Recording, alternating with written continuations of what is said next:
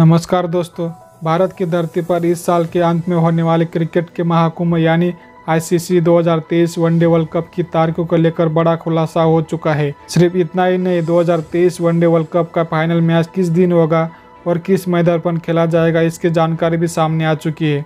दोस्तों, इसके अलावा दो हज़ार तेईस वनडे वर्ल्ड कप के मैच किन किन शहरों में खेले जाएँगे, इसका भी राज खुल गया है।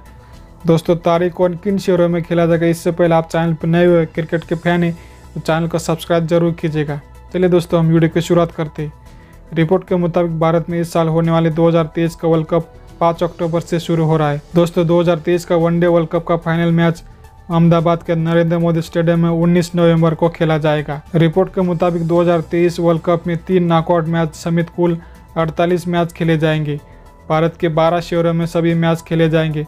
दोस्तों 2023 का वर्ल्ड कप के मैच हैदराबाद, कोलकाता, लखनऊ, इंदौर दिल्ली, लखनऊ, चेन्नई, बेंगलोर, धर्मशाला, गुवाहाटी, राजकोट और मुंबई में खेले जाएँगे। दोस्तों, आपको जानकारी के लिए बता दें कि भारत 10 साल से आईसीसी भी कोई भी टूर्नामेंट जीत नहीं पाया है। दोस्तों अब टीम इंडिया का इस साल का सबसे बड़ा टारगेट 2023 वनडे वर्ल्ड कप अपने नाम करने का। भारत ने 12 साल पहले अपने घर में खेल 2011 का वर्ल्ड कप अपने नाम किया था। ऐसे में इस बार 2023 का वर्ल्ड कप किताब जीतने का प्रबल दावेदार माना जा रहा है। रोहित शर्मा की कप्तान वाली भारतीय टीम आईसीसी ट्रॉफी के सूखे को खत्म करने के लिए अपनी जान लगा देगी।